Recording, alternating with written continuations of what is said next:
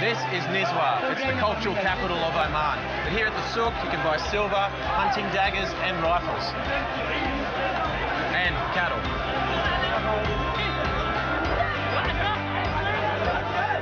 Overlooking the souk is Nizwa Fort. And as you can see, there's an awesome view of the rest of the city. This fort in particular is the largest tower-shaped fort in all of the Arab world.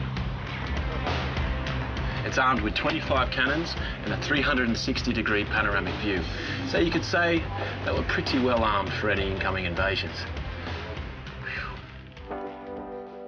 Oman